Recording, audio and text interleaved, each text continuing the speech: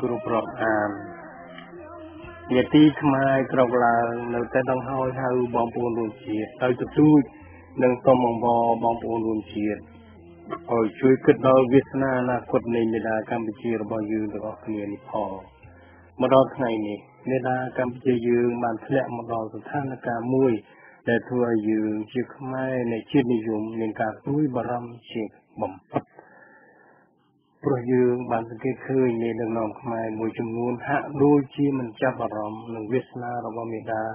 កម្ពុជាតតែសោះ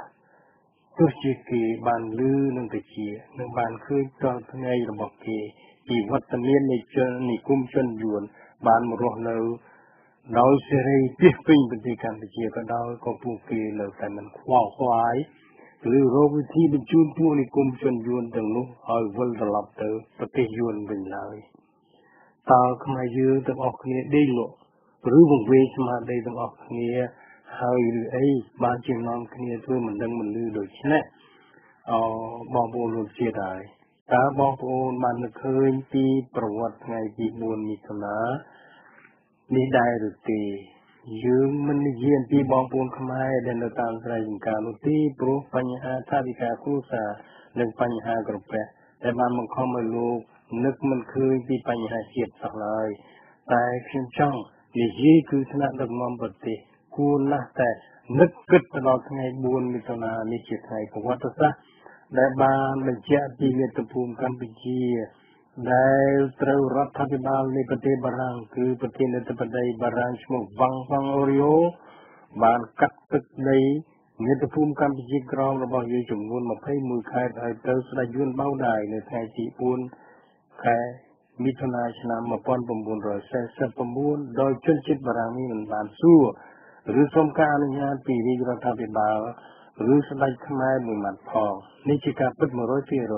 ព្រោះគ្មានឯកសារណាមួយ បានបញ្ជាក់បង្ហាញថាបារាំងបានទូលថ្វាយដល់ព្រះមហាក្សត្រខ្មែរនោះទេ ហើយតាមឯកសាររបស់លោកសិរិនឆាសម្បល់លោកកញ្ចក់បណ្ឌិតសេដ្ឋកិច្ចនយោបាយជា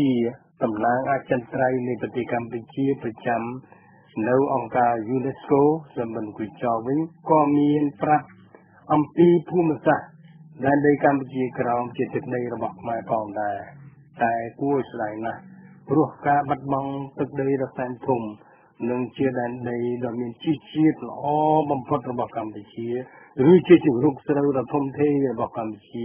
បានធ្លាក់ទៅលើកណ្ដាប់ដៃរបស់យួនជាចៅអមេរិកទៅវិញតែយើងជាកូនខ្មែរតពូជអម្បូរជាខ្មែរសម័យមហានគរដែរបែរជាម្នាក់ម្នាក់ដូចជាគ្មានការជឿចុកចាប់អ្វីបន្តិចសោះអញ្ចឹង ដោយខ្ញុំបានបញ្ជាក់ហើយថាយើងមិនអាចបន្ទោសប្រជាពលរដ្ឋបានទេហើយភារៈតទល់នឹងច្បាប់អន្តរជាតិនេះគឺមានមុខនីតិគឺរបស់អ្នកដឹកនាំប្រទេសនៅគ្រប់សម័យកាលយើងទាំងអស់គ្នានៅចាំបានកាលសម័យសង្គមរាជនិយមសម្ដេចនរោត្តមសីហនុព្រះអង្គជាប្រមុខរដ្ឋនៃប្រជាណាចក្រកម្ពុជាហើយព្រះអង្គបានថ្លែងថាច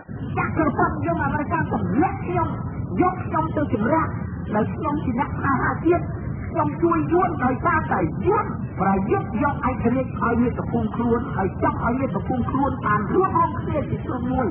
គឺវៀតណាមខាងជើងនិងវៀតណាមខាងត្បូង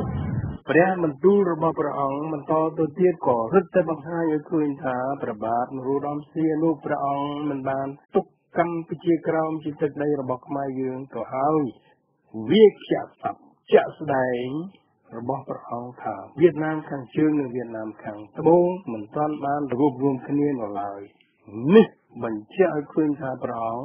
មិនបានទុកកម្ពុជាក្រោមដែលយួនបានកលៃជាវៀតណាមខាងត្បូងនោះជាទឹកដីរបស់ខ្មែរយើងទៅហើយ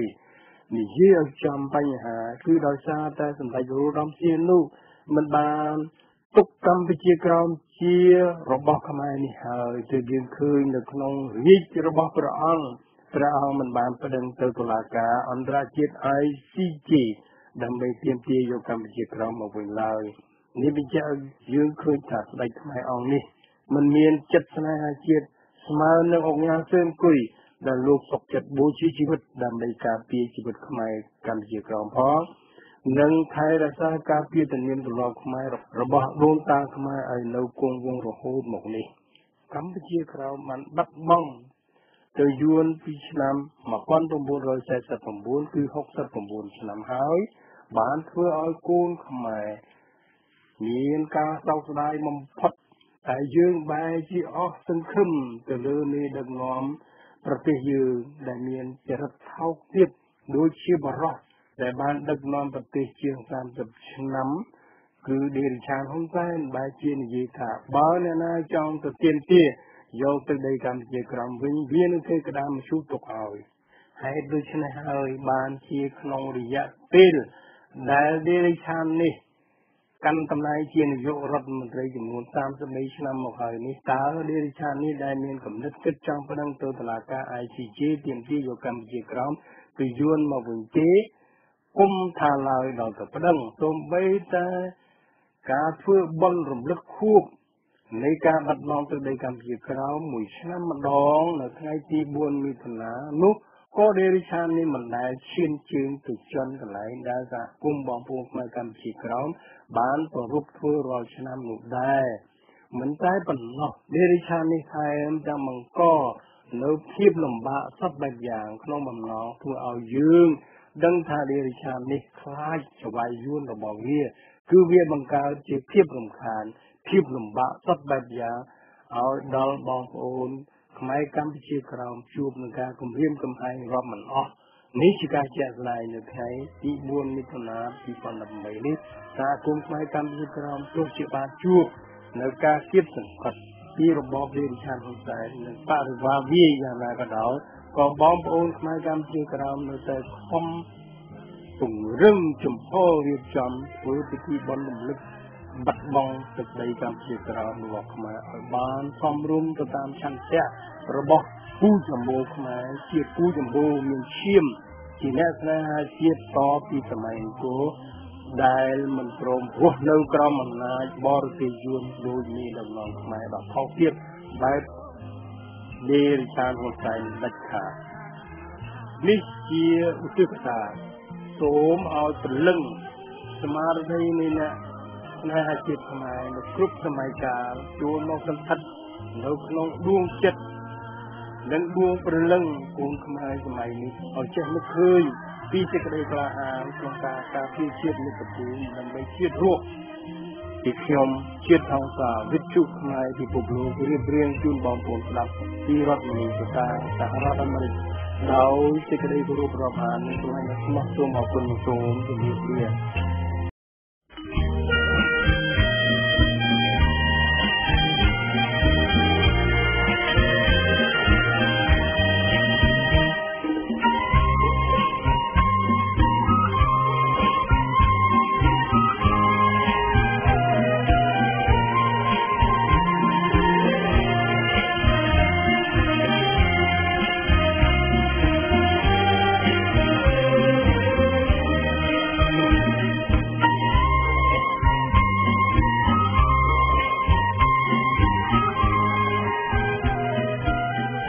បាទជម្រាបសួរអរលោកអ្នកនាងនិងស្ដាប់វិទ្យុខ្មែរពីពិភពលោកជាទីគោរពរាប់អានជួបគ្នាទៀតនៅក្នុងនាទីពីនេះពីនោះបាទខ្ញុំជ្រាបថាលោកអ្នកនាងមួយចំនួនមានអ្នកស្ដាប់មួយចំនួនប្រាថ្នាឲ្យខ្ញុំសរុបព័ត៌មានដែលកើតមានក្នុងលោកយើងនេះបើធ្វើទៅបានឬយ៉ាងហោចណាស់ក៏ព័ត៌មានពីមាតុភូមិដ៏កំសត់របស់យើងជូនស្ដាប់ប្រចាំថ្ងៃព្រោះព័ត៌មាន ដែលមាននៅតាមបណ្ដាញនានានោះវាច្រើនស្អេកស្កះខ្លាំងណាស់ចូលជន់ច្រើនពេកទទួលយកមិនអស់ឡើយវាជាការពិតដែលខ្ញុំគួរតែធ្វើអញ្ចឹងតែម៉ាស៊ីនជ្រើសរើសដំណឹងរបស់ខ្ញុំសប្តាហ៍នេះក៏ចាប់ផ្ដើមអោនថយធម្មពលដែរហើយអោនថយព្រោះនឿយណាយនឹងព័ត៌មានមកពីស្រុកខ្មែរឬតែរឿងហ៊ុនសែនហ៊ុនសែន តែខ្មែរភាគច្រើនសប្បាយចិត្តនឹងបានជេរប្រតិចដាក់បណ្ដាសាវាក្នុងប្រភពព័ត៌មាននីមួយៗឃើញតែរឿងរបស់សម្ដេចអគ្គសេនាបតីដែលគេយកទៅបំភ្លៃជាសម្ដេចអាគុកសេនាបាត់ទឹកបាត់ដីខ្លះក៏ថាសម្ដេចអាគុកអន់ជាងស្វាខ្លះក៏ជេរត្រង់ត្រង់ថាអាអាចអាណូមអាខ្វាក់អាខ្វាង គឺស្រេចតែនឹងនឹកឃើញយកមកហៅបរោះពីការភ្នែកពីការចិត្តគំនិតរូបនេះក្នុងពេលដែលគេមើលមុខបរោះដែលខ្មែរភាគច្រើនចង់ហៅថាអាដេរិឆានរូបនេះមានថាពេលវាថ្លែងដាក់កំហុសឲ្យអ្នកដទៃឬអួតអាងពីគុណបំណាច់របស់បកយួនបង្កើតរបស់វាសាធារណជនគេនឹកជេរប្រតិវាបណ្ដា បនស្រន់ឲ្យអស់អរុអរៈទេវតារក្សាមហាស្វេតឆ័ត្រទាំង10000លោកធាតុសូមឲ្យប្រញាប់មកគ្រាយកវិញ្ញាណគំរក់របស់អាស្វានរករូបនេះឲ្យផុតពីលោកយើងនេះឆាប់ឆាប់ទៅគឺស្ទើរតែគ្មានលាស់នរណាឡើយបាទខ្ញុំអាចលើកយកចំណងជើងព័ត៌មានដែលមានចុះផ្សាយតាមបណ្ដាញ អ៊ីនធឺណិតមកជម្រាបក៏បានដែលក៏មានលេឡំទាំងព័ត៌មានចាស់និងព័ត៌មានថ្មីហើយប្រមាណជា80%គឺជាព័ត៌មានដែលមានឈ្មោះអាចង្រៃខ្វាងនៅក្នុងនោះផងឧទាហរណ៍លើបណ្ដាញសំខាន់មួយដែលមានអ្នកចូលតាមដានតាំងពីពីអើយមកជាង10លានអ្នកទៅហើយនោះគឺចូលមើលម្ដងគេរាប់ថា1ដង 2ដងគេរាប់ថា2ដងដូច្នេះមានបានសេចក្តីថាមានមនុស្ស10លានអ្នកចូលមើលគេហទំព័រមួយនេះនោះទេមែនទេគឺជាចំនួននៃការបើកគេហទំព័ររបស់គេនោះបាទថ្ងៃ7កក្កដានេះជាផ្ដើមពីរូបអាចង្រៃខ្វាងចូលញញឹមស្ញេញលើកដៃចង្អុលមេឃនៅពីមុខមីក្រូក្រោមចំណងជើងថា លោកនាយករដ្ឋមន្ត្រីសច្ចាថានឹងចោះចេញពីតំណែងបើគណៈបកប្រជាជនចាញ់អាលោកនាយករដ្ឋមន្ត្រីចង្រៃរូបនេះវាប្រកាសកាលពីថ្ងៃពុធថាវានឹងប្រគល់អំណាចជូនមេដឹកនាំថ្មីបើស្នេហ៍ហើយវាចាញ់ឆ្នោតនៅថ្ងៃទី29កក្កដាខាងមុខនេះក៏ប៉ុន្តែនិយាយមិនទាន់ផុតសម្ដីល្អផងអាស្វាខ្វាក់រូបនេះក៏បញ្ជាក់ថា យ៉ាងណាក៏ដោយវាសង្ឃឹមថាវានឹងនៅបន្តកាន់អំណាចតទៅទៀតព្រោះពុំមានគណៈបកដតីណា ដែលមានលទ្ធភាពអាចឈ្នះវាបានបាទដំណឹងទី2ជាអត្ថបទដកស្រង់ពីកាសែតឥណ្ឌាឈ្មោះ The Hindu ដែលក៏សម្គាល់ថាមិនបាច់និយាយពីការរំលោភសិទ្ធិមនុស្សនោះទេហ៊ុនសែនគិតមិនផុតពី នឹងត្រឡប់មកបន្តអំណាចនៅកម្ពុជានោះឡើយក្រោយពីរៀបរាប់អំពីតួអង្គហ៊ុនសែនថាជាអ្នកណាមកពីណីអីនោះហើយហើយបានប្រព្រឹត្តអំពើថោកទាបអ្វីខ្លះល្អអ្វីខ្លះអ្នកនិពន្ធអត្ថបទឈ្មោះ Mohit Rao ក៏គាត់សម្គាល់ថាអ្វីបែឥណ្ឌាមានតួនាទីសំខាន់ក្នុងប្រវត្តិសាស្ត្រកម្ពុជា រដ្ឋាភិបាលក្រុង New Delhi បានសម្រេចដាក់ក្របខ័ណ្ឌទៅលើទំនាក់ទំនងទ្វេភាគីជាមួយនឹងប្រទេសនេះគឺនឹងតកតងតែក្នុងវិស័យសេដ្ឋកិច្ចនិងវប្បធម៌តែប៉ុណ្ណោះខណៈដែលសហរដ្ឋអាមេរិកនិងអឺរ៉ុបបានស្ដីបន្ទោសព្រមមានថែមទាំងដាក់ទណ្ឌកម្មទៅលើជនខ្លះក្នុងរដ្ឋាភិបាលហ៊ុនសែននេះទៀតផង បានសេចក្តីថាឥណ្ឌានឹងមិនផ្ដំទាទោស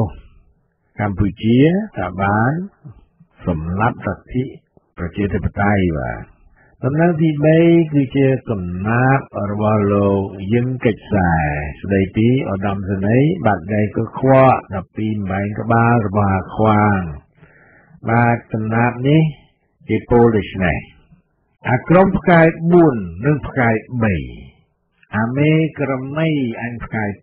5បាត់ដៃក៏ខ្វក់ឯងសំញ៉ាំអញផ្ដាំច្បាស់ឯងអញជឿគ្នាកុំភ័យថ្ងៃ29ដល់ឯងកុំខ្វាយខ្វល់កុំវេទនាគឺបកប្រឆាំងទេវេរាសុខាកំព្រាដោយលូស្ទះដរាបអញសែនបកលេខ20សុខាលវិញក្រៃដោយផ្លែមរះ ប្រចិនជប៉ុនឲ្យអញឈ្នះប្រទេសប្រតាសស្រុកអឺរ៉ុបបាទព័ត៌មានទី4ជា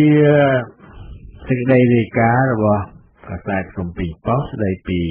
ផ្លូវជាតិលេខ55ប្រវែង182គីឡូម៉ែត្រដែលផ្ដើមចេញពីអនុស្សាវរីយ៍អ្នកតាឃ្លាំងមួងក្នុងក្រុងពោធិ៍សាត់កាត់ព្រៃព្រឹក្សានៃតំបន់ភ្នំក្រវាញឆ្លុះទៅដល់ ជាដែនសៀម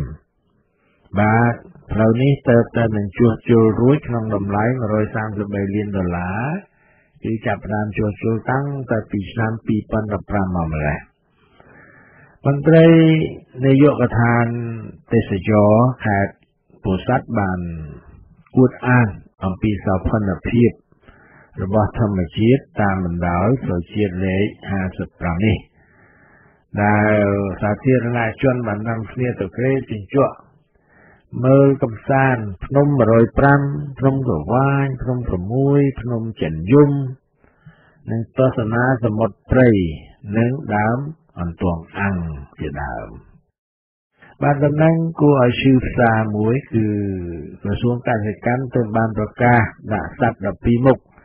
ក្នុងបញ្ជីសត្វកម្រដែលកំពុងតែដាច់ពូជ ក្នុងនោះក៏មានពួកពង្រូលបាទសត្វពង្រូលអឺចំនួន7ប្រភេទដែលកំពុងត្រូវពួកអាចង្រៃព្រានព្រៃខុសច្បាប់ចាប់យកទៅលក់នៅស្រុកយួន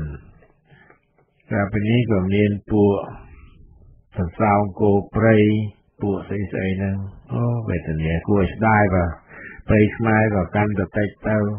សត្វព្រៃក៏វិនិច្ឆ័យហិនហោចព្រោះ ពួកដែលចាប់នឹងអត់មានអ្នកណាគេជួយអប់រំឬក៏គ្នាក៏គ្មានការងារធ្វើព្រោះតែរដ្ឋាភិបាលវាអត់រវល់អាចង្រៃខ្វល់រវល់ទៅឆ្លោះជាមួយនឹងគណៈបកដតីទៀតបាទក្រៅពីនេះក៏មានព័ត៌មានណែនាំហាងកាត់សក់កុមារព័ត៌មានថ្ងៃរំលឹកព្រឹត្តិការណ៍ ធ្វើរដ្ឋប្រហាររបស់អាខ្វាងទម្លាក់ព្រះអង្គម្ចាស់ប្រទេសផ្លោកសម្ដេចក្រមព្រះនរោត្តមរណរដ្ឋថ្ងៃ5-6កក្កដា1997តមកក៏មានដំណឹងបំណងភ្ជាប់ផ្លូវរថភ្លើងរវាងកម្ពុជានិងស្រុកសៀមគេថានឹងមានកិច្ចពិភាក្សាចុងក្រោយរវាងប្រទេសទាំងពីរមុននឹងចាប់ផ្ដើមគមនាគមន៍ផ្លូវដែក ទៅវិញទៅមករវាងប្រទេសទាំងពីរព្រោះការដឹកទំនិញតាមផ្លូវរទេះភ្លើងជួយការពារមិនឲ្យខូចខាតត្រូវថ្នល់ដោយសាររថយន្តផ្ទុកទំនិញធំធំភាគច្រើនចូលមកពីស្រុកសៀមបានធ្វើឲ្យថ្នល់ខ្មែរស្ពានខ្មែរគោចខាតហេនហើយត្រូវជួសជុលរៀងរាល់ឆ្នាំតែខ្ញុំចាំបានថាកាលពីសម័យបារាំងនិងសម័យសង្គម មុននឹងការចំនួនព្រំដែនពាក់ព័ន្ធនឹងប្រាសាទព្រះវិហារឆ្នាំ1962ខ្មែរយើងមានមោទនភាពខ្លាំងខ្លាណាស់ជាមួយនឹងរថភ្លើងប្រាសាំងឬម៉ាស៊ូតដែលយើងហៅថាអូតូរ៉ៃដែលរត់ពីភ្នំពេញចូលទៅដល់ស្រុកសៀមធ្វើឲ្យសៀមផ្អើលបន្តិចហើយព្រោះសម័យនោះរទេះភ្លើងសៀមមានតែក្បាលម៉ាស៊ីនប្រើចំហាយ ទឹកពុះបាទដុតអស់តែប៉ុណ្ណឹងបន្ទាប់មកក៏មានព័ត៌មានពាក់ព័ន្ធនឹងសេដ្ឋកិច្ចដែលផ្សារហ៊ុនកំពុងតែធ្លាក់ចុះនៅកម្ពុជាឬហើយក៏មានដំណឹងថាកាលពីថ្ងៃប្រហ័សអាខ្វាងប្រកាសហាមមិនឲ្យលក់គ្រឿងស្រវឹងមានសារាមេរ័យប៊ីយ៉ុងប៊ីយ៉ែហ្នឹងនៅថ្ងៃបោះឆ្នោតបន្ទាប់មកជាព័ត៌មានថា គណៈបក CPP កំពុងតែត្រៀមបើកយុទ្ធនាការឃោសនាបោះឆ្នោតនៅកោះកពីអត់ទោសកោះកោះពេជ្រដែលនឹងចាប់ផ្ដើមពីថ្ងៃសៅរ៍នេះទៅបាទយុទ្ធនាការឃោសនាបោះឆ្នោតទៅតែនឹងចាប់ផ្ដើមក៏ប៉ុន្តែអាចចង្រៃខ្វាងវាបានឃោសនាមកជិតមួយឆ្នាំទៅហើយអ្នកណាទៅធ្វើក្បាលវល់អីវា គឺវាបំពេញច្បាប់បោះឆ្នោតផ្លាច់ទៅនឹងចិត្តជានាយករដ្ឋមន្ត្រីប្រើលុយប្រើកាក់ប្រើគ្រឿងឧបករណ៍អ្វីរបស់រដ្ឋដើម្បីឃោសនាឲ្យគណៈបកទាំងឡាយរបស់វាបងប្អូនខ្មែរមើលប៉ុណ្ណឹងមិនឃើញទៀតថាអធិរិឆានេះវាមិនសមគួរនឹងឲ្យយើងទុកចិត្តធ្វើជាប្រមុខនៃប្រទេសព្រោះវានិយាយម្យ៉ាងតែវាធ្វើម្យ៉ាងនឹងខុសពីពួកមេដឹកនាំផ្សេងផ្សេងទៀតនោះឡើយ តែពេលនេះក៏មានដំណឹងថាគណៈបកអាតឬគណៈបកអំពិលអំពែកចំនួន2គឺគណៈបកខ្មែរក្រោកហើយនឹងគណៈបកធម្មាធិបតេយ្យ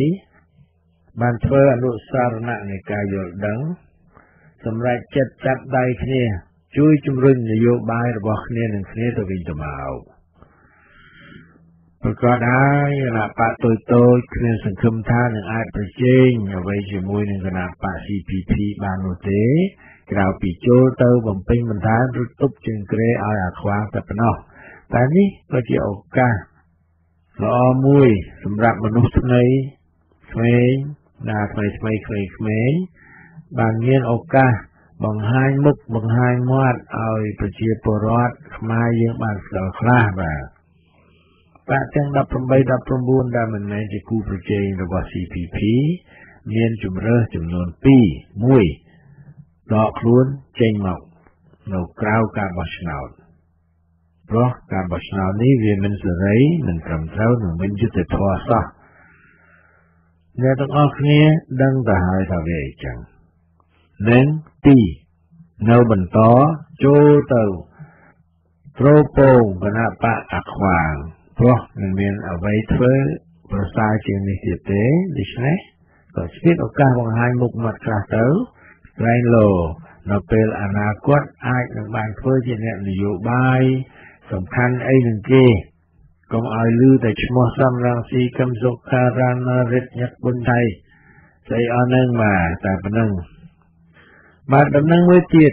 មានទាំងរូបថតរបស់អាប្រែកខ្វាងនោះផង លើកយកសម្ដីរបស់វាមកជាចំណងជើងថាបើគណៈបកសង្គ្រោះជាតិត្រូវបានធ្វើឲ្យស្របច្បាប់ឡើងវិញប្រទេសកម្ពុជានឹងមិនអាចជៀសផុតពីចំនួនឆ្លោះប្រកែកបានឡើយដោយអាខ្វាងវាបានចោទគណៈបកសង្គ្រោះជាតិថាវាប្រហារវាវាប្រហារគណៈបកវានឹងប្រាថ្នាចង់សងសឹកបើសិនជាឈ្នះ រឿងចាស់យកមកនិយាយថ្មីដើម្បីឲ្យគេឃើញថាអ្វីដែលវាបានធ្វើទៅហើយហ្នឹងក្នុងការសម្លាប់លទ្ធិប្រជាធិបតេយ្យនៅកម្ពុជានោះត្រឹមត្រូវសមហេតុផលបានមាន10 20ព័ត៌មានទៀតដែលពាក់ព័ន្ធនឹងរឿងរដាលរដាលនេះគឺអាខ្វាងខ្លែងថាអីចេះអាខ្វាងធ្វើមុខអីចោះ នៅក្នុងកិច្ចជួបប្រស្រ័យជាមួយនឹងកម្មករកម្មការិនីរាប់ម៉ឺននាក់ហើយបើមិនមែនដំណឹងពីមេដឹកនាំដៃក៏ខ្វក់មាត់ក៏ខ្វក់នឹងចិត្តក៏ខ្វក់រូបនេះទេនោះក៏មានដំណឹងកំពេចកំពកដូចជាការបង្ក្រាបលបែងចូលមាន់នៅក្នុងកាស៊ីណូឯស្រុកមេមត់ខេត្តត្បូងឃ្មុំមន្ត្រីគណៈកម្មការ សហភាពអឺរ៉ុបស្នើឲ្យដោះលែងលោកកឹមសុខាគណៈដែលកម្ពុជាតបថាណូមិនអាចទៅរួចឡើយដំណឹងគ្រោះថ្នាក់ចរាចរណ៍កម្មការវិនីរាប់សិបអ្នករងរបួសដំណឹងទៅកែរោងចក្រនៅព្រៃវែងរត់ចោលមិនបើកប្រាក់ខែកម្មករតាំងពីចូលឆ្នាំខ្មែរបងប្អូនខ្មែរនៅប្រទេសស្វីស បានធ្វើញត្តិទៅកាន់ប្រធានាធិបតីអាឡាំបែកសេស្នើសុំកុំឲ្យរដ្ឋាភិបាលស្វីសដាក់ទណ្ឌកម្មលើកម្ពុជាព្រោះកម្ពុជានឹងទទួលរងវិបត្តិសេដ្ឋកិច្ចធ្ងន់ធ្ងរណាស់ហើយអ្នកដែលរងគ្រោះខ្លាំងជាងគេគឺខ្មែរដែលមានប្រាក់ចំណូលស្ដួយស្ដាងគឺជនក្រីក្រខ្មែរបាទរឿងនេះមិនមែនជារឿងកំពេចកំពកទេព្រោះកម្រមានខ្មែរ ចៅស្រុក ប្រឆាំងនឹងគំនិតទៅលើរដ្ឋាភិបាលអាខ្វាងនោះណាតែនេះគឺជាមតិរបស់ខ្មែរស្វីសប្រមាណជា70នាក់គេមានហេតុផលរបស់គេ គឺគេខ្លាចខ្មែរក្រីក្រលោកនឹងវេទនាតែក៏មានមតិខ្លះថាអ្នកដែលនឹងវេទនាគឺពួកអមន្ត្រីដៃក៏ខ្វក់និងពួកកូនចៅរបស់អាខ្វាងឯនោះទេតើ ដែលនឹងវេទនាបើសិនជា Swiss ផ្ទុកបញ្ជីធនាគាររបស់ខ្មែរទាំងអស់នោះចំណែកឯប្រជាពលរដ្ឋខ្មែរក្រីក្រមកទៅគាត់មិនខ្លាចទៅជាអ្វីអាក្រក់ជាងនេះដោយសារ Swiss ដាក់ឬមិនដាក់ទណ្ឌកម្មសេដ្ឋកិច្ចលើកម្ពុជានោះឡើយបាទនៅមានព័ត៌មានមួយចំនួនទៀតដូចជាដំណឹងថាទឹកមុខ លៀងនឹងជ្រះសម្រាប់ចលក់មរៀនដៃអ្នកបោះឆ្នោតចំនួន51000ដបនឹងមកដល់ដៃគោជបឬដល់ទៅហើយកាលពីម្សិលមិញបាទទាំងមិញនេះគេទិញពីឥណ្ឌាមកនៅណាដៃស្អាតអាខ្វាងវានឹងខឹងហើយវាដឹងថាមិនបានទៅបោះឆ្នោត ដើម្បីកុំឲ្យអ្នកណាដឹងថាលោកអ្នកនាង ទៅបោះឬមិនទៅបោះឆ្នោតលោកអ្នកនាងអាចយកក្រណាត់រុំដំបៅពួកបងសំងហ្នឹងយកមករុំរៀនចង្អុលដៃទៅបាទវាជាសិទ្ធិរបស់លោកអ្នកនាងអ្នកណាសួរក៏ប្រាប់ថាត្រូវកំបិតមុតតាមពិតពួកអាសត្វនរកវាគ្មានសិទ្ធិផ្លូវច្បាប់ណាទាំងអស់បើបង្ខំឲ្យប្រជាពលរដ្ឋរបស់ឆ្នោតឲ្យវាឬឲ្យអ្នកណាផ្សេងទៀតនោះ គេមានសិទ្ធិនឹងទៅបោះឬមិនទៅបោះឆ្នោតក៏ប៉ុន្តែនៅក្នុងស្រុកចោលអ្វីអ្វីវាក៏ជាអំពើរបស់ពួកចោលជាចោលកម្មទាំងអស់បាទដែលសំខាន់គឺយើងត្រូវតែកាត់កាត់កណ្ដាលបំបែងក្បាលពួកវាបានម្នាក់មកអ្នកមកបថៅស្អីហ្នឹងបាទ អរលោកនាងមានស្ដាប់ជាទីគោរពរាប់អានថ្ងៃនេះខ្ញុំមិនមានរឿងបរិយអង្គរច្រើនពេកយកមកជម្រាបទេព្រោះមិនបានចេញទៅណានឹងមួយយ៉ាងហើយក៏មិនបានទទួលសម្បត្តិអ្វីពីបងប្អូនជាសមាជិកទោះមួយច្បាប់ឡើយបាទបើសិនជាលោកនាងប្រាថ្នាចង់ជួយបរិយអង្គរយើងសូមកុំភ្លេចផ្ញើសម្បត្តិមក បរិយអង្គរ Inc លេខ32 71 South Chicken Road Roland North Carolina 28 38 3 28 38 3ហើយកាលពីម្សិលមិញខ្ញុំបានធ្វើដំណើរទៅក្រុង Charlotte ដើម្បីចាត់ការរឿងបញ្ជីកណនីរបស់ក្រុមហ៊ុនប រិយអង្គរ Inc ដោយបានបដូរឈ្មោះអ្នកកាន់ការចាស់ចេញមានលោកអោកសឿងអ្នកស្រីសុគន្ធាហើយដាក់ឈ្មោះខ្ញុំក្នុងឋានៈជាប្រធានលោក Kenneth Sok ក្នុងឋានៈជាលេខាលោក Insari ជាហេរ៉ាញឹកនិងលោកសូនសម្បូរជាជំនួយការហេរ៉ាញឹកឲ្យចូលជំនួសវិញបាទឈើនៅលើទឹកដីបរិយអង្គរដែលលក់បាន គឺជាគល់ឈើភាគច្រើនបាទជាឈើបាក់បែកជាឈើមិនជាល្អអីហើយខ្លះក៏សល់ពីការកាត់លក់លើកមុនមុនដូច្នេះយើងបានមិនច្រើនទេ បានមិនដល់10000ដុល្លារផងដែលខុសពីការកាត់លក់3លើកមុនសរុបទៅបានដល់ទៅជាង140,000ឯណោះឥឡូវនេះគេឈប់ អឺប្រមូលឈើទាំងនោះទៀតហើយព្រោះវាមានផុកប្របីបាច់បាទឡានធ្ងន់ធ្ងន់ចូលទៅពិបាកខ្លាចជាផុងស្រីដកខ្លួនចេញអស់ហើយបាទបាទប្រាក់ថ្លៃលក់ឈើហ្នឹងបាន7000ផ្លាយបូករួមនឹងប្រាក់ជំនួយឧបត្ថម្ភពីសមាជិកជាង25នាក់ទៀតយើងបានយកទៅតម្កល់ក្នុងធនាគារ បានទាំងអស់ជាង13000ដុល្លារហើយធ្វើឲ្យពេលនេះយើងមានថាវិការជាង20000គឺ27000ដុល្លារហើយតែក៏មិនទាន់គ្រប់សម្រាប់ការចាយវាយប្រចាំថ្ងៃត្រូវជួលអ្នកមកចាំយាមបរិយអង្គរមកកាត់ស្មៅរក្សាការពារសម្បត្តិដែលយើងនៅមានសល់នៅឡើយដូចជាគ្រឿងឧបករណ៍ជាង ស្វានរណាអាឈើញូរថៅលាក់បាទព្រោះត្រូវលួចអស់ជាច្រើនរបស់ថ្មីថ្មីនៅត្រូវតែកំបែកកំបាក្រៅពីនេះក៏មានគ្រឿងចាក់បាទគ្រឿងចាក់យន្តដែលសិតតែចាំបាច់ត្រូវជួសជុលតម្រូវការរបស់យើងខ្ញុំនៅឯបរិយាអង្គរពេលនេះគឺប្រាក់ថ្លៃគូប្លង់ ចំនួន17000ដុល្លារហើយប្រាក់ធ្វើ typographic survey តម្លៃពី18,000គឺ18,000ដល់20,000ដុល្លារសរុបទៅយើងត្រូវមានប្រាក់ជាបន្ទាន់ពី4ទៅ50000ដុល្លារហើយខណៈនេះយើងមាន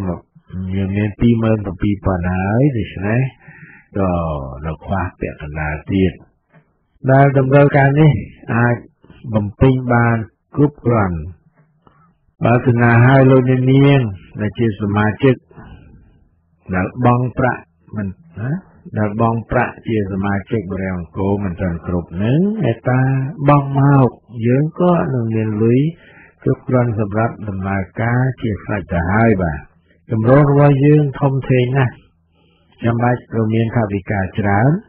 តែប្រកាសណាស់យើងមិនអាចគៀបយក លុយពីសមាជិកបានរាល់តែដល់នោះទេ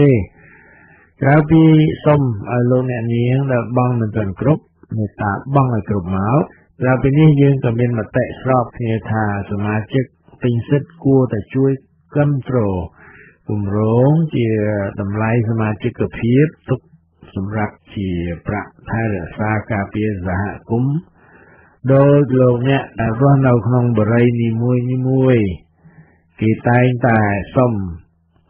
maintenance fee គឺប្រាក់អភិរក្សបាទសម្រាប់ដូចជាប្រមូលសម្រាមកាត់ស្មៅតម្រឹមអឺដើមឈើអីចឹងជាដើមបាទដូចខ្ញុំបានជម្រាបហើយថាប្រាក់ទាំងអស់ដែលលោកអ្នកនាង ជួយមកសហគមន៍នឹង យកទៅបន្ថែមលើភាគហ៊ុនរបស់លោកអ្នកដែលនឹងពង្រីកភាគរយនៃកម្មសិទ្ធិរបស់លោកអ្នកនាងនៅពេលអនាគតក្រៅពីពិធីរោគចំណូលពីវិធីនេះហើយលោកវិស្វករព្រំសន្តារាក៏ទៅតែនឹងស្នើគំនិតជាមួយនឹងខ្ញុំថាយើងអាចធានាឲ្យលោកកាមុងដងជាងស្មិតបាទជាងស្មិតជាងស្លាក់កាមុងដងមកនៅជាមួយនឹងកូនយើងអាភូមិខ្មែរ គឺយើងនឹងបើករោងជាងដែករោងជាងស្មិតរោងជាងចម្លាក់រោងជាងសិប្បកម្មផ្សេងផ្សេងហើយក៏នឹងផលិតនៅវត្ថុសិល្បៈខ្មែរសម្រាប់លក់ឲ្យទេសចរសម្រាប់អ្នកបញ្ចេញទៅក្រៅទៅលក់តាមហាងទំនិញឬតាមបណ្ដាញអ៊ីនធឺណិតក៏បាននេះក៏នឹងជាចំណូលមួយទៀតសម្រាប់សហគមន៍បរិយាអង្គរយើងចំពោះដីដ៏ធំទូលំទូលាយ របស់ព្រះអង្គក្រៅពីចូលហ៊ុនគ្នាធ្វើកសិកម្មប្រភេទដាំបន្លែបង្ការដែលងាយក្នុងការរកទីផ្សារដូចជាធ្វើរោងប្រភេទ greenhouse ឬក៏ដាំដំណាំក្នុងទឹកដែលគេហៅថា hydroponic ហ្នឹងហើយយើងក៏នៅមានគម្រោងបណ្ដុះផ្សិតច្រើនប្រភេទទៀតក្រៅពីនេះក៏មានគំនិតចង់ដាំទំពាំងបាយជូរបាទ ប្រភេទ muscadine ដែលគេហៅថា muscadine ហ្នឹងតែ muscadine អាចផលិតជាស្រាទំពាំងបាយជូរបាន មានរសជាតិត្រេតទៅខាងតូទៅខាងផ្អែមបន្តិចហើយក្របរបស់ muscadine ដូចជាក្របទំពាំងបាយជូរទូទៅគេអាចយកមកធ្វើជាថ្នាំបានមានប្រសិទ្ធភាពក្នុងការបន្ធូរបន្ថយភាពហើមដែលបណ្ដាលមកពីមុខរបួស ហើយក៏ជួយព្យាបាលជំងឺភ្នែកដែលពាក់ព័ន្ធទៅនឹងជំងឺទឹកនោមផ្អែមតែគិតតែជាគំនិតទេក្នុងសំការមស្កដាយហ្នឹងយើងអាចដាំឲ្យវាវានៅលើត្រើងដែលយើងធ្វើឲ្យខ្ពស់ទៅហើយផ្លែឬក៏ចង្កោមផ្លែតំបន់បាយជូរឬមស្កដាយហ្នឹងក៏នឹងព្យួរតែងតោងតែងតោងមកក្រោមត្រើង ហើយនៅខាងដីនេះយើងអាចដាក់តុដាក់កៅអីបាទធ្វើជាកន្លែងទទួលទានបាយសម្រាប់ឲ្យអតិថិជនគេចូលមកអង្គុយទទួលទានសបាយមើលអីជុំវិញហើយក៏ភ្លក់ផ្លែមកស្កដាយហ្នឹងក៏បានបាទអ្វីទាំងអស់នេះវាចាប់ផ្ដើមពីជំហានដំបូងបើយើងមិនមានឱកាស បានឈានជំហានដំបូងទៅនោះណាឡើយយើងនឹងមានឱកាសបានទៅដល់គោលដៅរបស់យើងខ្ញុំគិតថាជាមួយនឹងការជួយឧបត្ថម្ភពីសមាជិកទាំងអស់នោះសុបិនរបស់យើងក៏នឹងខ្លាយទៅជាការពិតបានបាទមុននេះជម្រាបលាខ្ញុំសូមអរគុណលោកបងជៀនយីអ៊ូទីប្រឹក្សារបស់ខ្ញុំដែលបានផ្ញើជំនួយគ្រប់គ្រងរបស់អ្នក Maryland ម្នាក់ដែលសូមមិនបញ្ចេញឈ្មោះ ចំនួន120ដុល្លារសម្រាប់ការផ្សាយវិទ្យុខ្មែរពិភពលោក12ខែបាទសូមអរគុណបាទសូមអរគុណលោកបងទីប្រឹក្សាហើយនឹងម្ចាស់ជំនួយនោះសូមអរគុណហើយក៏សូមជម្រាបលាតែប៉ុណ្ណេះផងដែរបាទដល់វិទ្យា